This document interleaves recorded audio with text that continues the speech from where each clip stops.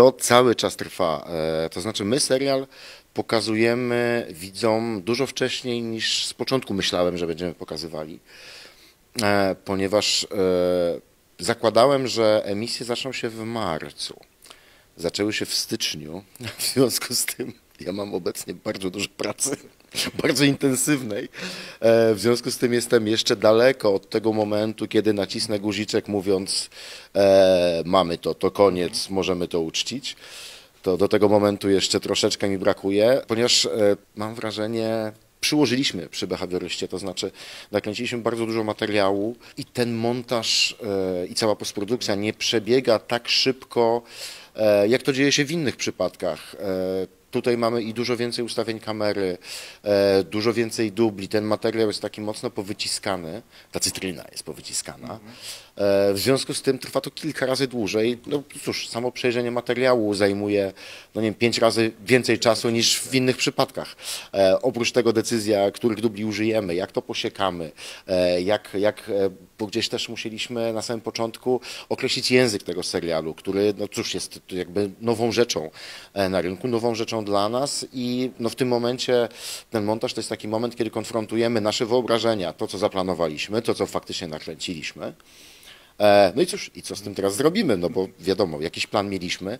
On zadziała lub nie, no bo dopiero teraz się z nim tak bezpośrednio skonfrontujemy. No też oczywiście w jakiś sposób magia tej pracy, że ten etap kreatywny się w zasadzie nie kończy. On, znaczy on się kończy w momencie, kiedy oddajemy widzom coś, co już w tym momencie będzie widzów i to oni będą interpretować to, co chcieliśmy im opowiedzieć. E, Ale ten etap właściwie kreatywny dla nas jest od samego początku do, do niemal samego końca, więc to bardzo interesująca robota. No chciałem Cię zapytać o ten ostatni klaps w Opolu, czyli o całą pracę tutaj, którą wykonaliście w naszym mieście. Znaczy ja jestem zachwycony tym, raz przebiegiem tej współpracy. Oczywiście chętnie byłbym dłużej na zdjęciach tutaj, no ale cóż, jesteśmy ograniczeni środkami finansowymi, jakby przed tym nie uciekniemy. Najchętniej całość zrobiłbym w Opolu. No ale to niestety było niemożliwe. Z wielu względów, już nie tylko finansowych, ale przede wszystkim organizacyjnych. Mm, To znaczy, trudno jest zgromadzić taką grupę ludzi, taką ilość aktorów, e, pogodzić ich terminy, jakby logistyka e, nie tyle nas przerosła, co była po prostu niewykonalna w terminach, w których realizowaliśmy serial. Tym samym e, to nie mogło się udać, w związku z tym tylko pewien blok zdjęć był realizowany w Opolu i naprawdę chciałbym więcej, dlatego że No cóż, chciałbym więcej jeszcze pokazać tego, co tu było. Po prostu nie wszystko zdążyłem. A apetyt pozostał, który oczywiście działałby tylko lepiej, tylko lepiej w całym serialu. No ale cóż, miejmy nadzieję, że tak jak rozmawialiśmy e, wcześniej, że w przypadku kontynuacji, no cóż, będzie szansa to naprawić. No właśnie, chciałem Cię zapytać, e, czy byłeś zadowolony z tych miejsc, z tych e, planów i powiedziałeś sobie, kurczę, widzę jeszcze ich dwa razy tyle, dobra, jakbym miał kręcić drugą serię, to rzeczywiście nie byłoby też w Opolu z tym problemu. No nie byłoby zdecydowanie. Dlatego, no jak mówię, jest wiele miejsc, których jeszcze nawet nie liznąłem, a chciałbym. w każdym razie jest, zdecydowanie jest po co wracać, dlatego że, e, no mówię, myśmy tylko zarysowali powierzchnię do tej pory. My byliśmy na zdjęciach tutaj tydzień. E, po dwóch miesiącach powiedziałbym, zastanowiłbym się, gdzie nakręcić kolejną scenę. Musiałbym już wymyślać miejsce, ale teraz jest jeszcze mnóstwo tego do pokazania. Co więcej, e, teraz po raz pierwszy e, widzę Muzeum Piosenki e, wnętrze, to znaczy my robiliśmy tu sceny, ale tu na zewnątrz w holu. Nie weszliśmy tutaj, a już widzę tu gigantyczny potencjał. Lubisz chodzić do ogrodów zoologicznych? No właśnie uwielbiam ogrody zoologiczne. Dlatego to mówię, to było jedno z moich takich ulubionych e, miejsc w Opolu i no wręcz uparłem się, że ileś scen trzeba przepisać w taki sposób, żeby mogły zdarzyć się w zoo. Powiedz jeszcze na, naszym widzom też ostatnią historię, historię opolskiego bambusika pod Warszawą. Tak, to jest, nie, to jest nie, niezwykłe, bo ja też byłem jakby tą sytuacją bardzo zaskoczony. To znaczy, e, zachwyciłem się opolskimi bambusami, bo to są e, najwspanialsze, najlepiej zadbane, naj, naj, najlepiej rosnące bambusy, jakie widziałem w Europie. W Ameryce Północnej też chyba nie widziałem, żeby coś było bardziej imponującego.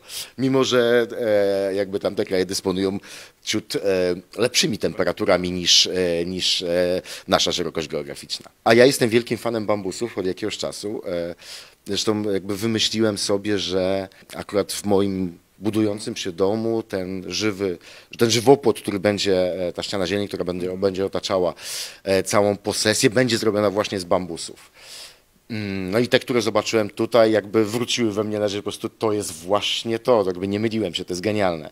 I w pewnym momencie, mieliśmy chyba zdjęcia na rynku, nagle przyjeżdża do mnie w prezencie od miasta sadzonka bambusa dwumetrowa, gdzie mówię, czemu, dlaczego, dziękuję. tych właśnie, ty, zresztą to była ta, ta odmiana, e, która chyba najliczniej rośnie w opolskim zoo. Więc byłem zachwycony. Oczywiście gigantycznym wyzwaniem okazało się przewiezienie tego do Warszawy. Na szczęście tu z pomocą e, przyszła mi scenografia, bo w ich samochodzie udało się tę sadzonkę w taki sposób ustawić e, pionowo, e, żeby, żeby po prostu nie ucierpiała na, na tym transporcie. Kiedy udało się ją przewieźć, zasadzona u mnie na działce, e, przyjęła się fenomenalnie, natychmiast wyrosły nowe pędy, jestem zachwycony. Teraz, e, teraz trwa jej test zimowy. E, Jeśli przejdzie go pozytywnie, na co bardzo liczę, ponieważ, o ile się nie mylę, największe mrozy już za nami, a sadzonka zdecydowanie je przetrwała. Mając wciąż zielone liście, e, na których momentami leżał śnieg, co wyglądało bajecznie. E, Więc liczę na to, że na wiosnę pójdzie jeszcze bardziej do góry, zacznie się rozrastać. No i cóż, to będzie dopiero wspomnienie o pola. Ale co, dla ciebie mróz nie straszny. Powiem to oczywiście, jak się domyślasz w kontekście współpracy z Remigiuszem. Tak, okazało się w sposób dubeltowy. Dziękujemy ci bardzo. Dzięki wielkie.